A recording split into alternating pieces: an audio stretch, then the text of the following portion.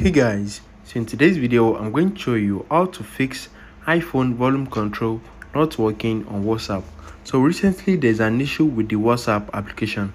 So if you're on the whatsapp application and you try to increase or decrease the volume of your iphone it is not going to work. So i'm going to show you a few things you can do to fix that in this video. So the first thing you can do is to check if there's any new update on whatsapp. Just head over to your app store click on this search right here and you need to search for whatsapp. So what i noticed on app store is that anytime you search for an application you're not going to see update right here until you click on it. So just make sure you click on the whatsapp application to confirm if there's any new updates. So once you click on this and you found a new update just update your device just update your whatsapp and i think you are good to go. So just update your app and try it again and see if that's going to work for you. So this worked this is what i did and it works for me. But if you found no update on your app store or you tried this and it's still not working for you let me show you other things you can do. So the second thing you can do is to just try and restart your device. So just i think most people know how to turn off their device already but if you don't know how to turn off your device just long click on the volume up button and the power button. So just long click on it for a long time until you see something like this. So once you long click on it just slide this to turn off your device. So i'm not going to be doing that because i am on screen record. So i'm recording my iphone screen. So just try this and reboot just turn off your device and turn it on again. So i'm very sure once you do this your whatsapp volume is going to start working but if it still don't doesn't work let me show you the third thing you can do.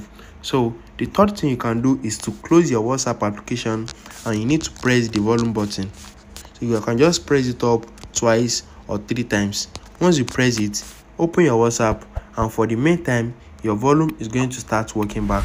So anytime you're on whatsapp the volume up button and the volume down button will be working but this is not a permanent fix. So if you have tried all the things i listed in this video and none of it is working for you which i'm very sure it is going to work for you but there are some cases that none of this method is not going to work. So here's what you can do. That means there's a bug in your whatsapp application. And in order for you to fix this bug head over to your whatsapp app and you need to click on settings right here. Once you click on settings head over to chat and you need to select chat backup. Once you select chat backup back up your chat and delete the app. So if you don't want to delete the app you can also offload the app in your settings. And by offloading it all your documents and data are still safe. So you're not going to face any issue with them. You are going to recover all your chats. But i'm going to advise you to firstly back up your chat once you are done with that head over to your settings and you need to scroll down to general. Once you click on general select iphone storage and you need to wait for this to load. Once it has loaded look for whatsapp application and you need to click on it. Once you click on whatsapp offload it and you need to reinstall it. So after the offloading process you are going to reinstall right here. So make sure you up you you back up your chat first. But by offloading it all your documents and data are still safe. You don't need to worry about that.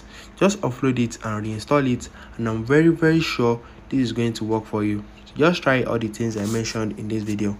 If you found this video helpful smash the like button and subscribe to my channel for more amazing videos like this. Thanks for watching guys